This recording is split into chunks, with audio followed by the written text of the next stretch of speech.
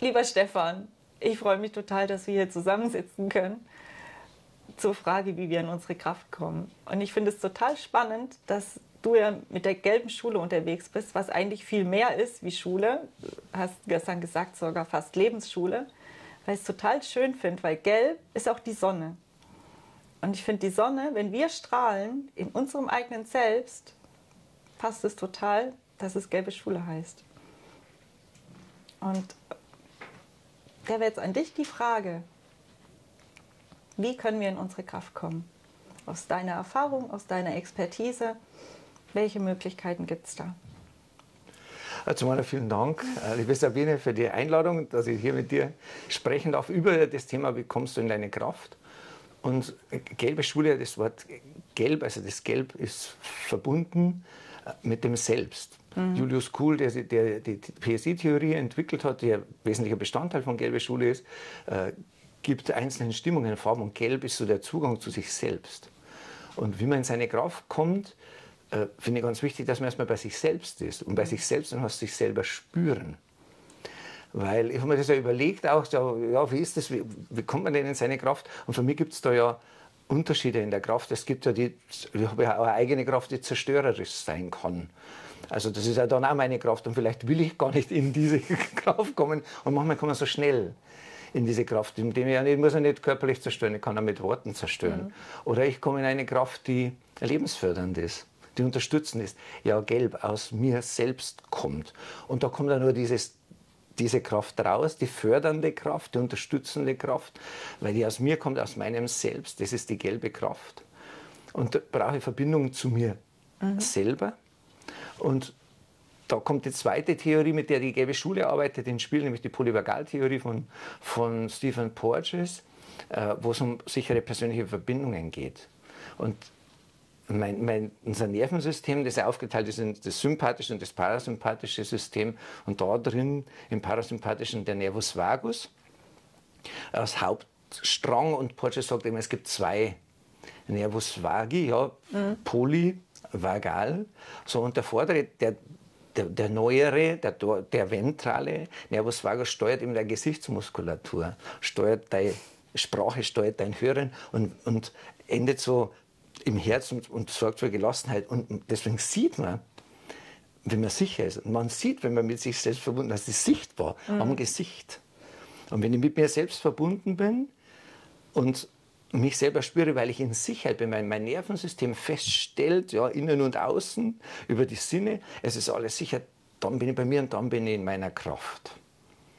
Dann kann ich das nutzen, alles, was in mir wohnt, sage ich mal, also alles, was in mir wohnt, kann ich nutzen und äh, so tätig sein oder so weitergeben, wie ich das gerne haben möchte. Und äh, zum Beispiel eben, wie es bei Porsche wichtig ist, jemanden anderen zu ko-regulieren, das ich selber nicht regulieren kann. Also wenn ich, wenn ich merke, oh, da ist jetzt irgendwas, mhm. deswegen in der Schule, ja, da stimmt jetzt irgendwas, ist irgendwas ist passiert, dann ist, sollte ich ja den anderen vielleicht Koregulation anbieten können. Dazu muss ich in meiner Kraft sein, bei mir selber sein.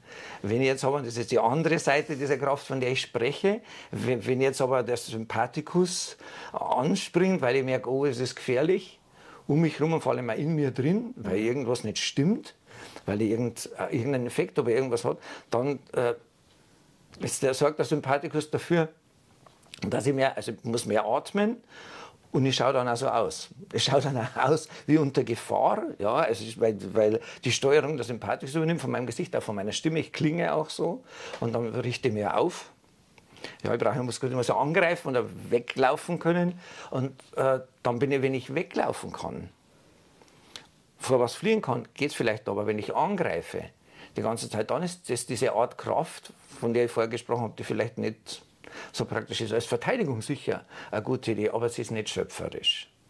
Also es sind so für mich diese beiden Unterschiede, äh, die es da, so, da so gibt. Und komplett abgetrennt werde ich von meiner Kraft, wenn der, der Dorsale, der alte, in Anführungszeichen, Vagus kommt, dann gehe ich in die Immobilität.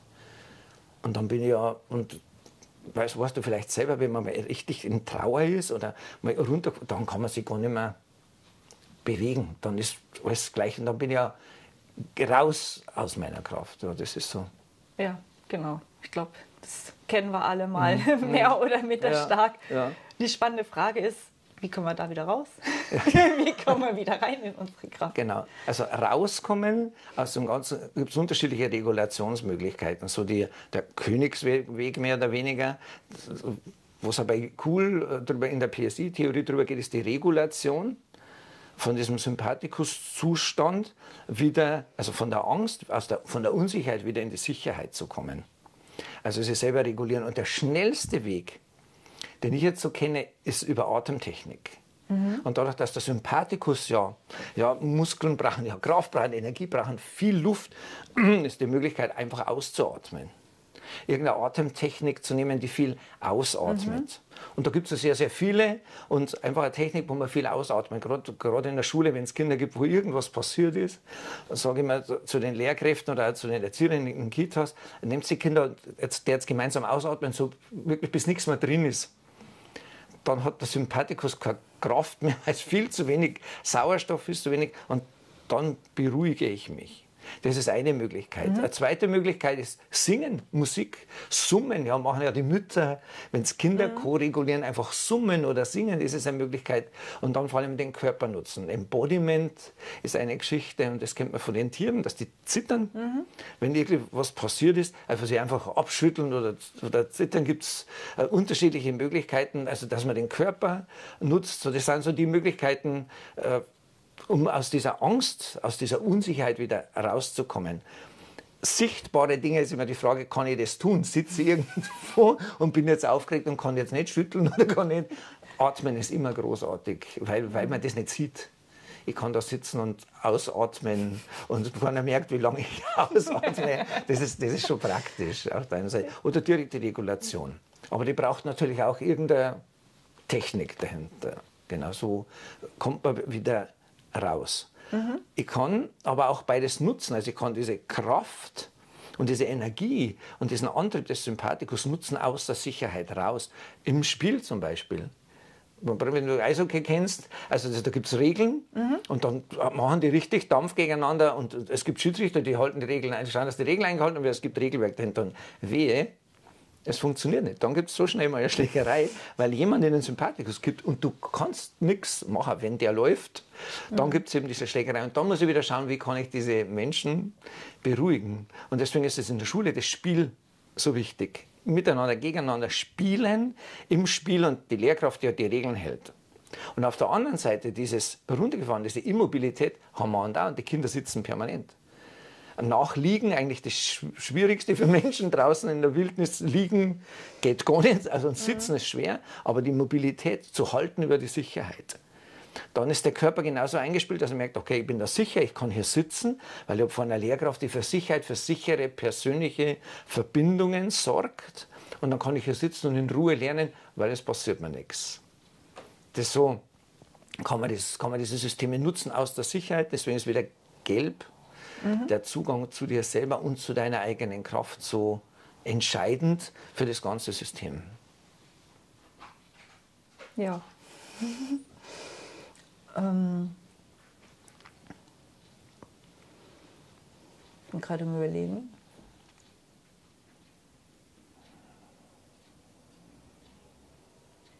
Ja, ich finde das mit der sicheren Verbindung, fand ich so spannend, dass du das gesagt hast, dass meine sichere Verbindung zu sich selber kommt. Über diese Regulationsmöglichkeiten. Mhm.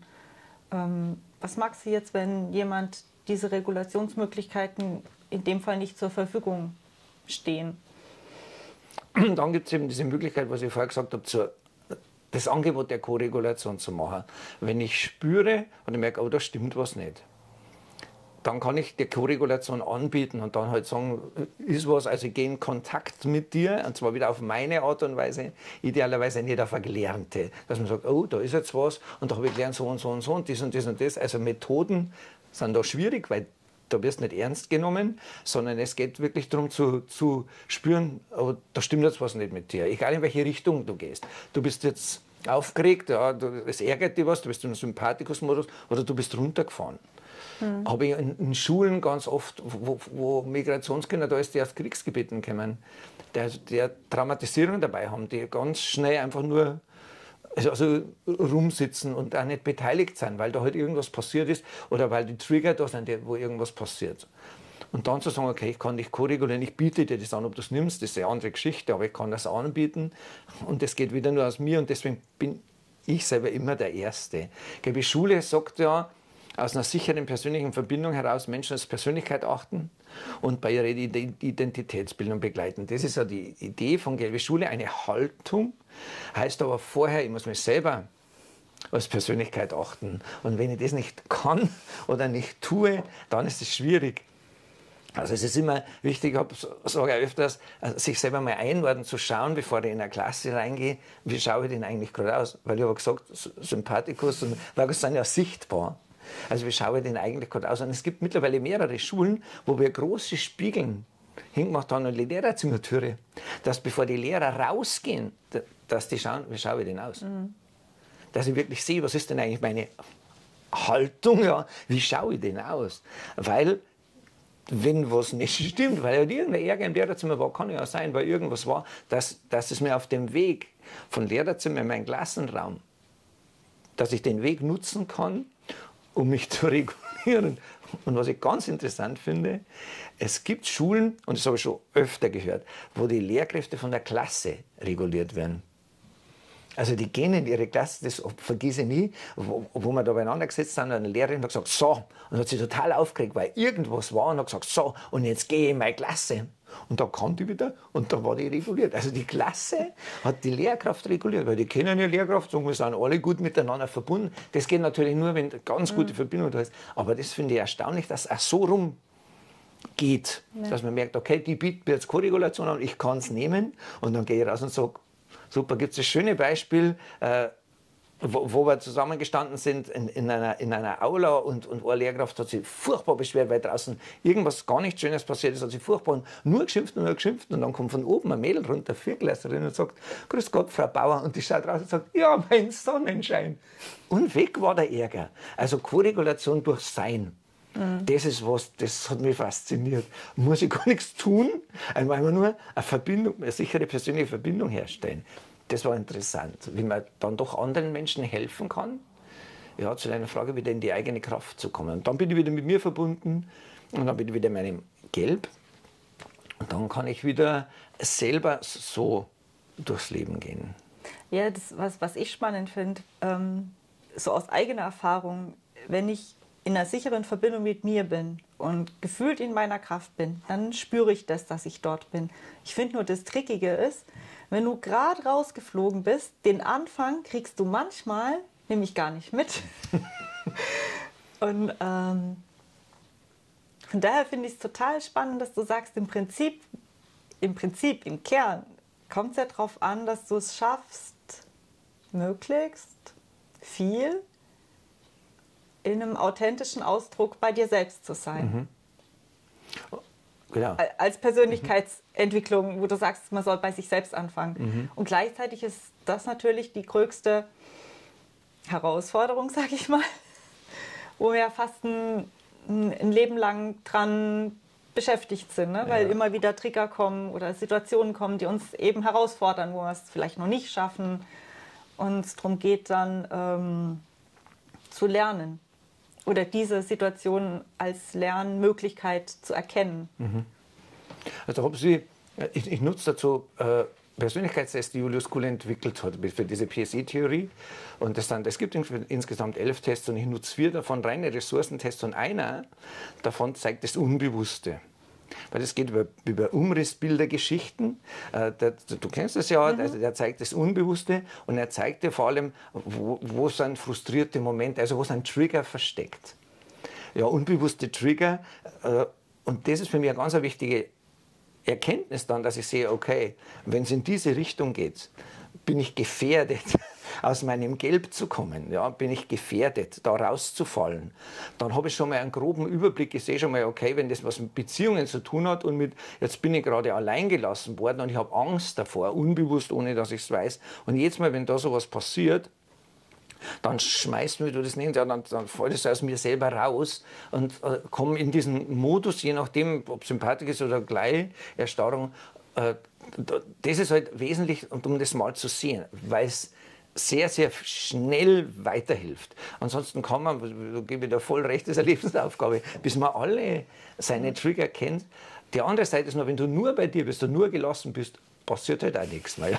bist du, sitzt du rum, bist der gelassenste Mensch aller Zeiten, aber es passiert halt auch nichts mehr. Weil ist ja okay, ist ja alles okay so. Deswegen ist es, glaube ich, auch immer wieder entscheidend, wieder was Neues zu lernen, um so auf den Weg, weil die Persönlichkeitsentwicklung ist ja aus der Unsicherheit, dem coole Farbe Blau gibt, wieder zurück ins Gelb zu kommen und zu wachsen.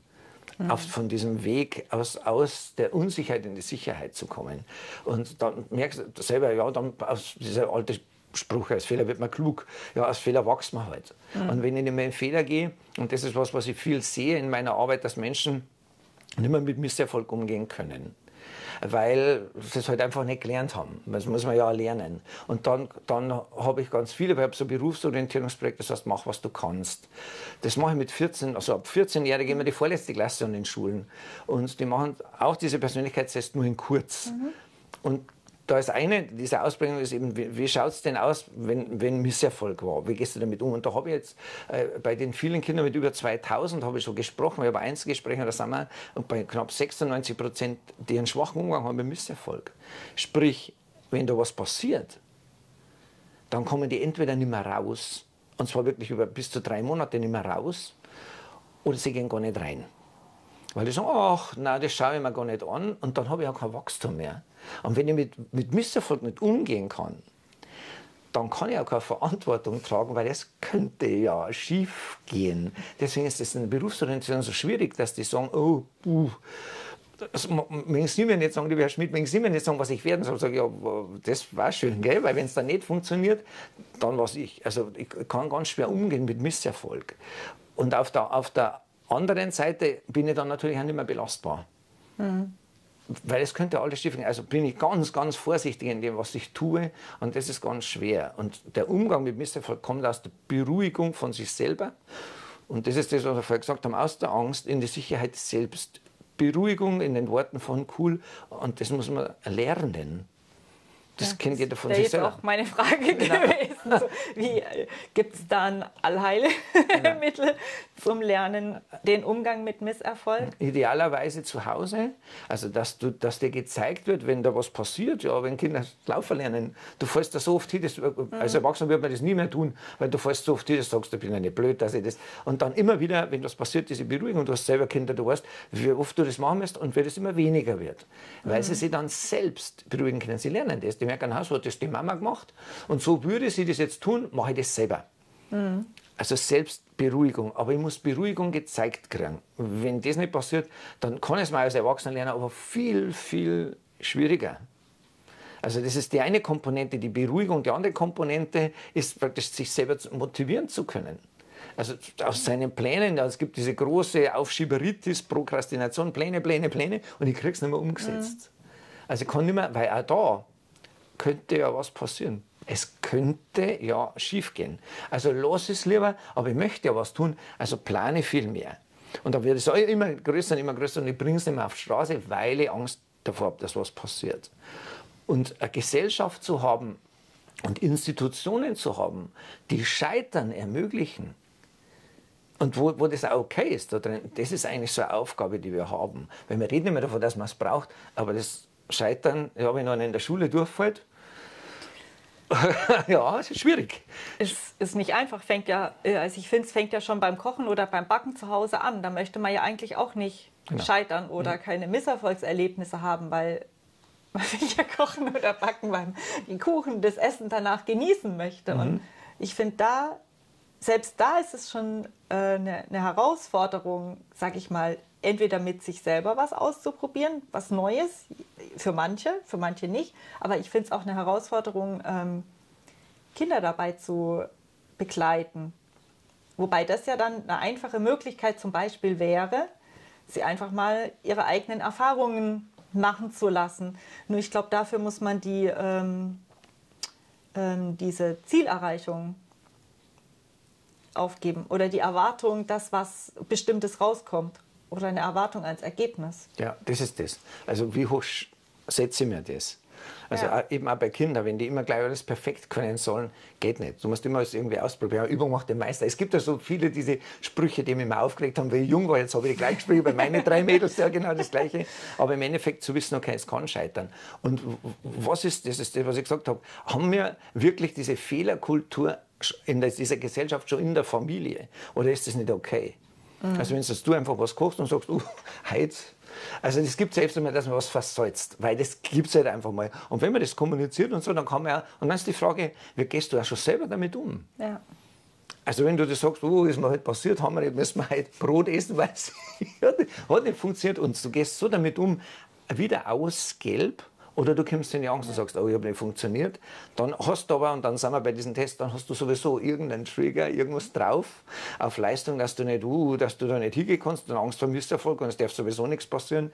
Da geht ja das im Endeffekt mhm. schon los und dann zieht sich das ganz weit runter bis in die Familie hinein. Und das ist eigentlich schon eine Aufgabe von uns, diese Fehlertoleranz nicht nur zu sagen, sondern auch zu haben.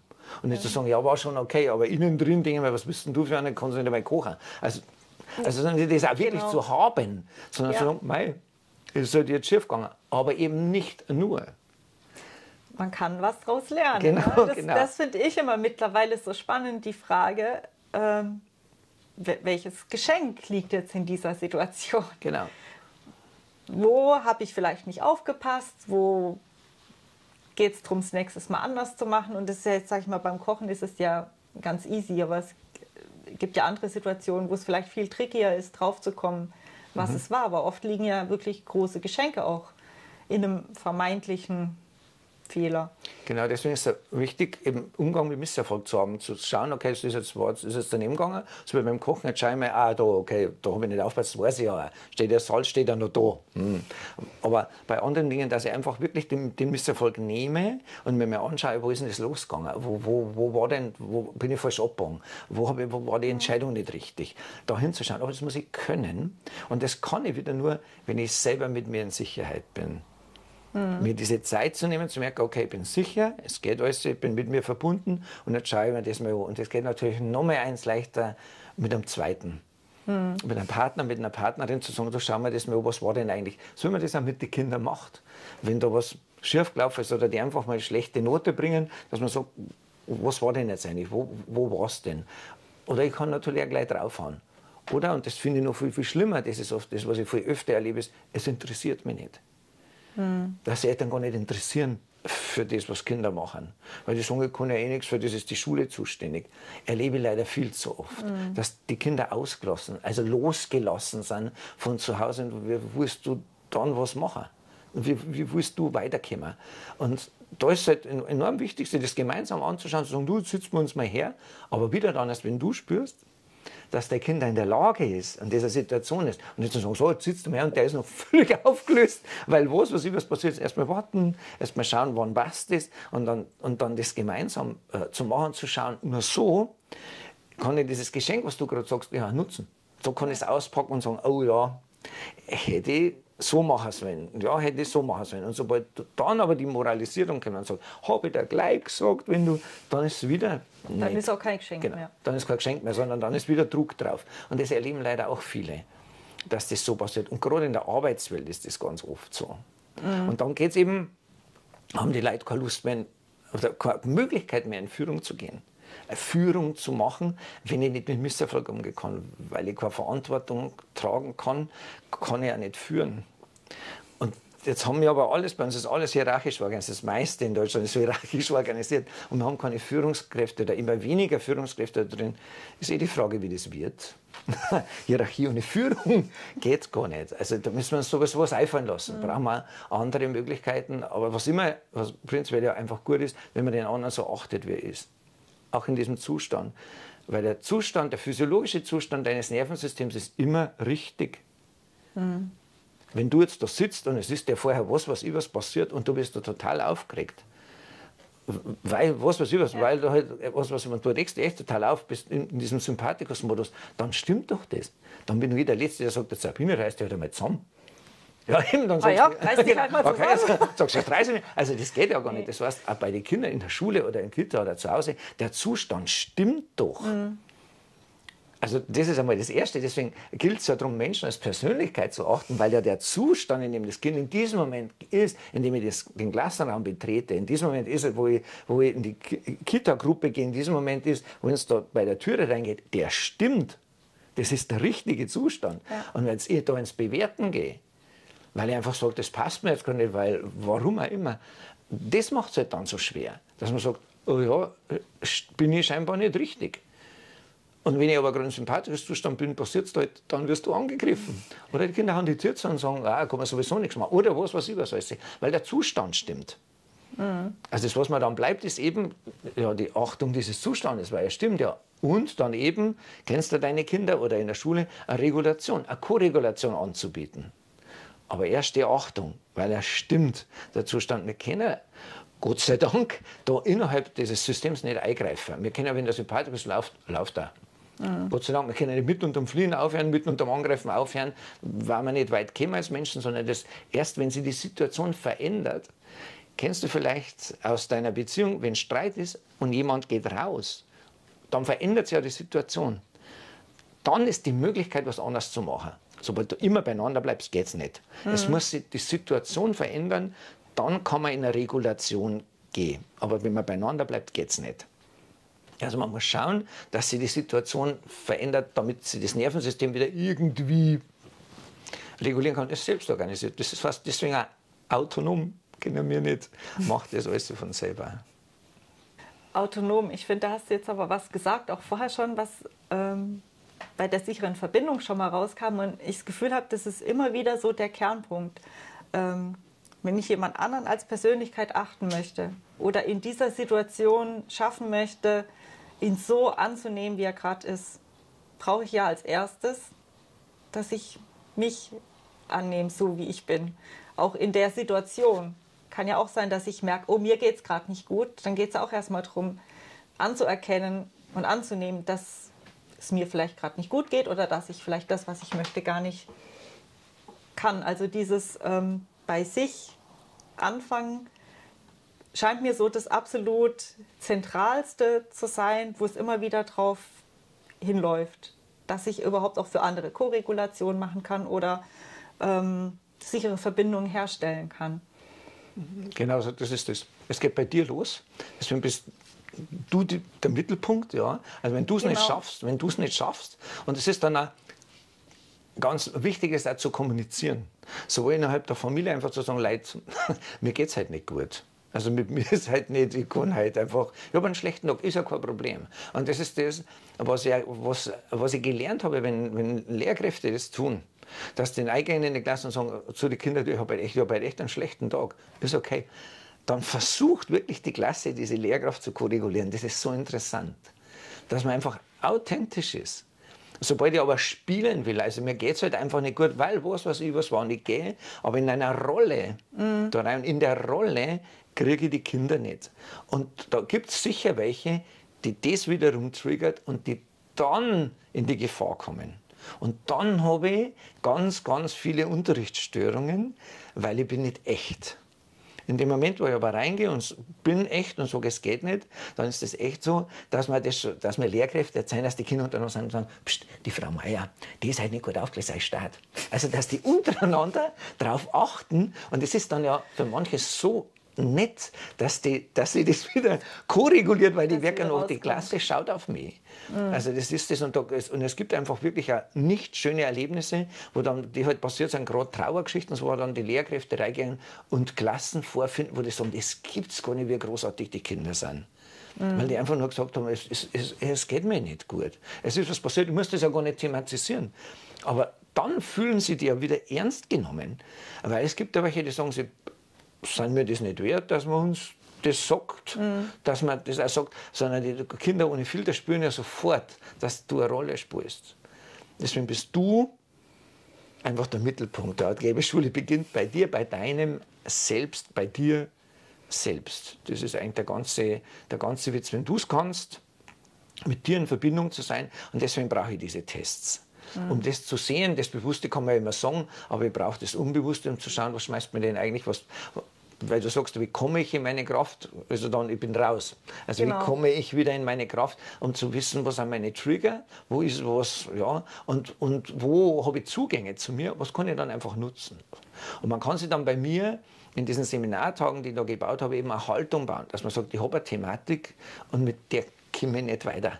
Weil jetzt mal, wenn ich an diesen Punkt komme, Beispiel, ich habe so eine Lehrkraft gehabt, die komplett souverän ist, aber bei Elternabende ihr, ihr Programm vorzustellen, ist die drei Wochen davor schon krank gewesen. Hat gesagt, jetzt muss ich da für Eltern sprechen. Eine so- souveräne Lehrerin, aber mit Eltern hat die irgendwas gehabt. Es hat einfach nicht funktioniert. Also brauche ich als Lehrkraft eine andere Haltung. Ich brauche eine andere Haltung. Und diese Haltung kann man sich, wir nennen das Bauen ja entwickeln. Mit dem Zürcher Ressourcenmodell ZRM geht es ganz gut so in meiner Fassung, das zu bauen. Und dann ist das das Schöne, wenn ich merke, ich kann das, ich kann da eine neue Haltung machen und es funktioniert, dann gewinne ich Vertrauen in mich selber, merke, oh, ich kann sogar mit so einem Thema umgehen. Und dann merke ich auch, Wachstum ist möglich.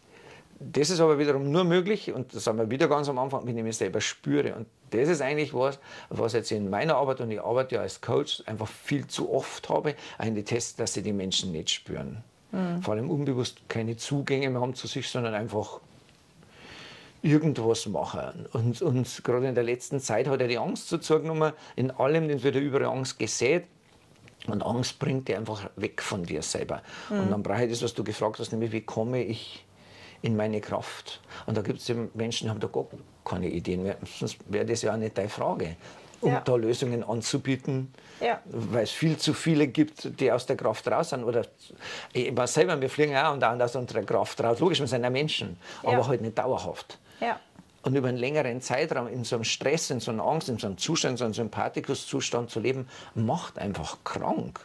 Und die Psychoneuroimmunologie weiß das, und bei Christian Schubert weiß das ja ganz genau noch, wo es mit mir hingeht. Weil Stress macht richtig krank mit der Zeit. Und diese ganzen Burnout-Kisten, ja, brauchen wir ja nicht reden.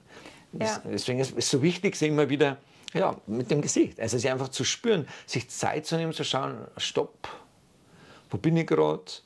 Bin ich noch bei mir? Und sind wir wieder beim Atmen. Der Atem ist das, was ich habe. Der Atem ist das, was mir. Der, der ist immer bei uns. Genau, der verbindet mich mit mir und je nachdem, was du drauflegst auf deinen Atem, dass du sagst, okay, wenn ich atme, dann weiß ich, das, ich habe so eine gute Möglichkeit, meine, meine kleine Schwester, wenn die ins Gespräch ist, wenn es da um größere Aufträge geht, die haben ein großes Fotostudio, die ist da in Gespräche, die hat sie auf ihrer Uhr eingestellt, dass das nach zehn Minuten einen Impuls auf ihr Handgelenk gibt. Und das heißt für sie, sie achtet auf ihren Atem in dem Moment. Und dann merkt sie, wenn sie nur bis daher atmet, dann stimmt gerade was nicht. Dann geht sie raus, ja, geht auf die Toilette, regeneriert sie wieder, ja, über Atemtechnik, kommt zurück und das Gespräch verändert sie. Und deswegen hat sie es eingestellt, weil sie gemerkt hat, dass das geht. Und das finde ich großartig. Spannend. Das zu tun, einen Hinweis sich selber zu geben und zu schauen, ja, mein lieber Atem, wo bin ich denn gerade? Weil das weißt du ja selber, wenn du in so Gesprächen, du bist verstrickt und bist mittendrin, du warst überhaupt nicht auf und dabei bist du weg von dir. Ja. Und das bringt dir einfach diese ganz einfache Möglichkeit, die einfach zu dir selber zu bringen, auch in deine Achtsamkeit. Deswegen gibt es ja so viele Achtsamkeitsübungen, in deine Achtsamkeit zu bringen, zu schauen, Moment mal, wie atme ich denn eigentlich gerade? Bin ich bei mir, habe ich diese tiefe Atmung, bin ich damit in Verbindung mit dem anderen oder sind wir gerade beide sonst wo? Ja. Und deswegen geht es wieder zurück auf dich selber. Das ist eine Möglichkeit auch. Und da bin ich, und da finde ich, muss auch ganz frei sein, was man da macht. Also sobald man da sagt, ja, es geht nur mit der Methode, nur mit der Übung, das ist ganz furchtbar, weil es macht gleich schon wieder Stress. Dann sage ich, Ja. du musst das anwenden, dann wenden die Leute so, dann geht es natürlich nicht, weil ich wende das unter Druck an, sondern so ein Chaos. Bei mir geht es wieder nicht. Also das ist eigentlich so das Schwierige. Sondern jeder soll schauen, das ist das, wenn ich meine Seminare, diese Atemtechnik mache, die, die meine ist, sage ich mir, das ist meine. Und es gibt halt etliche, die sagen, oh ja, das ist großartig. Und etliche, die sagen, nö, das ist nicht meine, ich suche mir selber eine. Und, und dann bin ich immer dabei. Dass man denkt, du sollst immer selber spüren, die Problematik ist nur, wenn du die nicht spürst, laufst du von A nach B, nach C, nach D und suchst. Und ich kann dir erzählen, was ich mag. Und es nutzt nichts, weil du das mit dir nicht abstimmen kannst. Er ist schon krass, gell? Ja, und wir verlieren uns so schnell. Und Angst schiebt uns so schnell raus. aus unserer Kraft. Aus unserer Kraft. Und da finde ich es aber auch so wertvoll, wenn man ähm, selber ein Gespür dafür kriegt, ähm, dass man sich selbst bewusst in seiner Kraft erlebt, dass man einen Referenzpunkt hat, dass man weiß, boah, so fühlt sich an, wenn ich in meiner Kraft bin. Und wenn man dann in diesem Wachstumsprozess das öfters mal erlebt hat, rauszufliegen, wie das ist, das zu merken, zu erkennen, den Weg wieder rein, dann kriegt man ja auch Übung da drin mit der Zeit, dass man merkt, oder dass ich merke, wo stehe ich denn gerade? Bin ich in meiner Kraft? Bin ich gerade dabei rauszufliegen? Bin ich komplett draußen? Mich immerhin zu erinnern, ey, Moment, es gibt auch einen anderen Zustand, wo es mir gut geht. Mhm. Ich spüre mich gerade nicht mhm. und sich zu erinnern, welche Möglichkeiten ich habe, wieder rein mhm. Wo ich denke, wenn man mal damit anfängt, ist das auch ein. Ähm, es braucht doch für viele, glaube ich, erst da einen Anfang, um ein Gespür dafür zu kriegen, auch für die zwei äh, Zustände. Ja, und da musst du immer wieder spüren, und zwar ähm, ähm, den zweiten Zustand auch auszuhalten, nicht in der Kraft zu sein. Mhm. Und da sind wir wieder beim Umgang mit Misserfolg. Und bei den Menschen, die sagen, oh nein, das mache ich nicht, ich gehe nicht rein. Ich habe keine Lust drauf, von mir weg zu, das mag ich nicht. Das halte ich nicht aus, weil ich Angst davor habe, ich komme nicht mehr raus. Mhm. Also deswegen ist es so wichtig, ja, wieder in die Angst zu gehen, aus der Kraft rauszugehen und zu sagen, oh boah, aber so spürt sich das aus, auch gerade Und und da ist aber wirklich sehr wertvoll, wenn man jemanden hat. Mhm. Ist sehr wurscht. Es gibt ja viele Möglichkeiten, aber live jemanden hat, wenn ja. man jemanden hat, der einfach den Hinweis gibt und sagt, du Sabine, ich wollte nur sagen, deine Stimmung, was ist gerade mit dir? Ja, also und, und, da einen Hinweis zu kriegen, zu sagen, okay, jetzt schau ich mal. Und eben so Momente, wo das nicht geht, hat eben meine kleine Schwester die Idee mit dieser Uhr gehabt mhm. eine Erinnerung zu kriegen, weil die ist ja dann, wenn es, und sie hat gesagt, das ist öfter schon passiert, rausgeflogen aus ihrer Kraft und hat es aber nicht gemerkt. Ist halt durch irgendwelche Sätze, Wörter, was der andere gesagt hat, weil es halt einfach schwierig ist und wenn es um Geld geht und Auftrag geht, mhm. einfach rausgeflogen und kriegt da wieder die Erinnerung und merkt es dann und denkt sich, oh ja, das, das, das ist das, weil die, die, die Thematik ist, wenn du raus bist, geht's ja, bist ja nicht mehr im Spüren. Das genau, ist, das, das, ist das, was ich vorhin meinte. Wenn man rausfliegt, merkt man es am Anfang ja oft nicht. Genau. Man merkt es, wenn man dann ganz draußen genau. ist, dann merkt man es irgendwann, weil es drumherum vielleicht Konflikte gibt oder mhm. sonst irgendwas oder man merkt es einfach. Mhm. Aber wenn man gerade am Rausfliegen ist, kriegt man es manchmal Nur nicht mit. Nein, genau. Ne? Das ist die, die, die schätzt raus und du bist ja so in deinem Ding drin, dass du genau. Tun, machen, genau machen, machen. Und du hast ja recht und es stimmt ja alles oder du weißt was um was, was über so ist. Oder du bist wirklich so viel am Tor, weil es so viel ist, ja. dass du es gar nicht merkst, dass du dich selber verlierst. Deswegen sind ja diese ganzen Achtsamkeitsübungen so wertvoll, in der Achtsamkeit zu bleiben. Was aber immer nicht geht, weil wir haben einfach Trigger, haben wir halt einfach, Gott sei Dank, sonst kann man ja nicht wachsen. Genau. Aber da dieses, also das Idealste ist, und ich habe für mich in, in, meiner Arbeit, ich, ich nenne es halt einfach Wächter, sich einen Wächter zu bauen, mhm. der dich erinnert, der dich darauf aufmerksam macht, dass du gerade weggehst von dir. Also sich einen zu denken, innerlich. ja, also innerlich waren. Und es gibt Menschen, die künstlerisch begabt sind, die meinen, meinen sie dann einer. Nur ein Wächter, keinen Krieger, keinen, der angreift, mhm. sondern nur ein Wächter, der, oder Wächterin, klar, die mhm. rumsitzt und sagt, liebe Sabine, merkst du es? Und das ist wertvoll und das mache ich bei mir selber. Und das hilft für mich selber. Und das habe ich schon mit so viel Leid gemacht. Und das finde ich wertvoll. Gar nichts anderes tun, als nur einen Hinweis zu kriegen. Wir sind gerade auf dem Weg raus. Und ich habe dann noch so viele Menschen, die sind dann gleichzeitig auf den Weg in ihre eigene Folterkammer rein und schrauben sie dann da nach unten. Mhm. Und dann kommst du wohin, wo du nicht möchtest. Und da ist ein Wächter einfach sehr, sehr wertvoll. Einfach nur jemand, der da einen Hinweis gibt und den kannst du dir bauen, ja, ich nenne es halt einfach so, sodass du sagst, der ist da in mir und gibt mir einfach nur einen Hinweis. Und das geht. Den Hinweis kriegst du. Du hast allerdings auch Situationen, da hörst du den Hinweis. Aber sonst kann man wieder nicht lernen. Kann ja. man wieder nicht lernen. Thematik ist bei vielen nur, dass die schon so lang in diesen Situationen sind und eben nicht koreguliert sind und in, in Umgebungen leben, wo das so ist. Und dann wird es wirklich schwierig da in ein Spüren zu kommen, überhaupt ein Spüren zu finden. Mhm. Was ist das in der Kraft zu sein? Wie fühlt sich das an? Und wenn ich bloß in einem Konzept von mir lebe, dann habe ich ja gar keine Ahnung, weil ich bin der Meinung, es passt alles. Mhm. Die sagen dann zu mir, wieso? Ist doch alles Beste. Dann sage ich, genau, her ich. Also so, die das, oder das gar nicht auffällt. Also das Ideale ist wirklich, den Anfang zu finden, wo gehen wir raus. Und das, für das ist der Wächter zuständig, mhm. der zu dir sagt, hopp, achtsam, sei achtsam, du gehst gerade raus ja. von dir. Und wenn es mir gelingt, dem zuzuhören, kann ich bremsen mhm. und kann eingreifen mit wieder irgendeiner Technik, die jeder selber weiß, ja. welche das, das ist. Und wegzugehen und rauszugehen und was anders zu machen und in die Achtsamkeit und zu sagen, okay, wir kommen wieder zurück mhm. in meine Kraft. Wie gesagt, ganz weit draußen ist es schon schwierig. Ist, dann ist es schwierig, schwieriger. Es geht immer wieder alles zurück. Es ist ja noch nie einer verloren gegangen, wenn man, wenn man jemanden hat, der einem da hilft. Es gibt halt wirklich Punkte, da ist es so, dass du einen Dritten brauchst. Ja, weil es sehr, sehr, sehr schwierig ist, genau.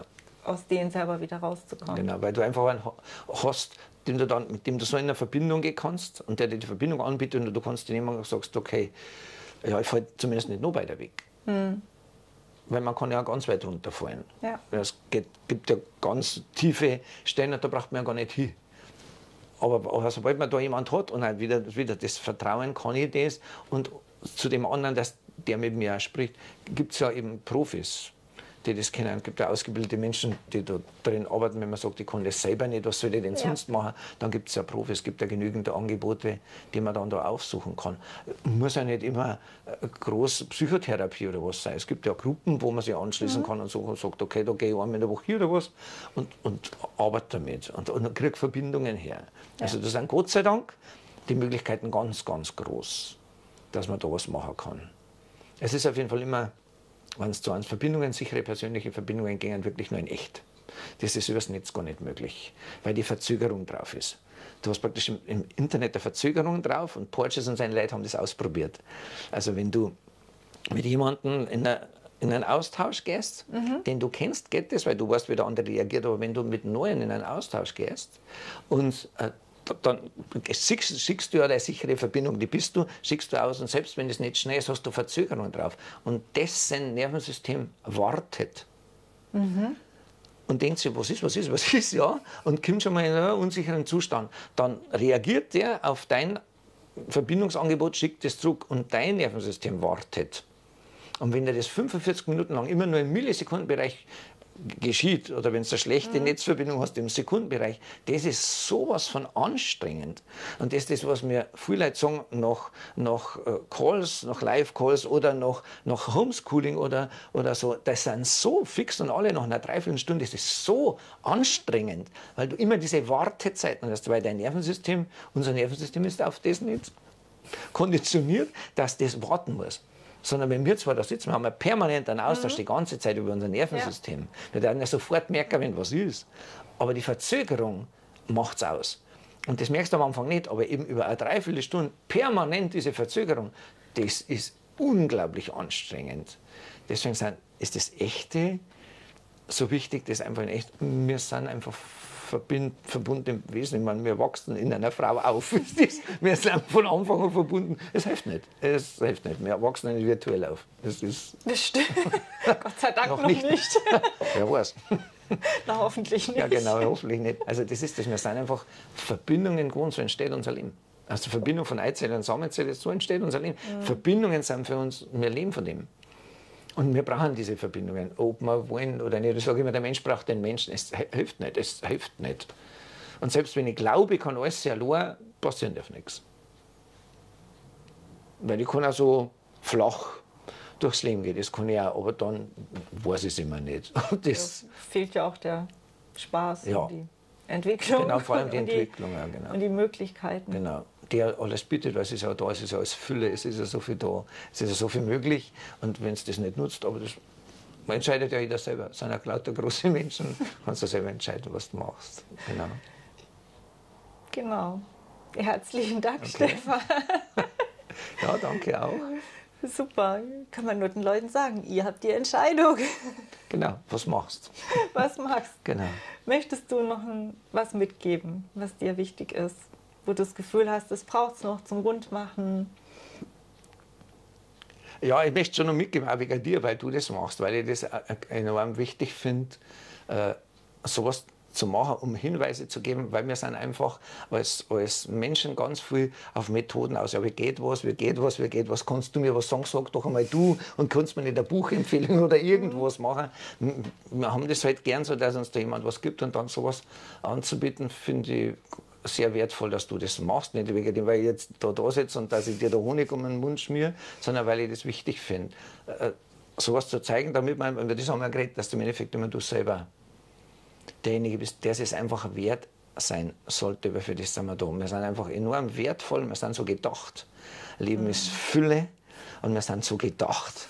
Und deswegen ist es auch ja, wichtig, dass man sich wertvoll fühlt, weil dann kann ich wertvoll sein weitergeben. Ich nenne das, wie ich mir, so ich dir. Wenn ich mich wertvoll fühle, kann ich die als wertvoll empfinden.